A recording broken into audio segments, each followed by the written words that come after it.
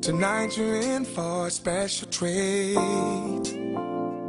I brought you roses just to sweep you off your feet. Oh, there'll be plenty of time for us to make love. But how about first we celebrate what's up? How does this sound? The city is ours. Let's take you downtown to your favorite spot. Don't try to hide.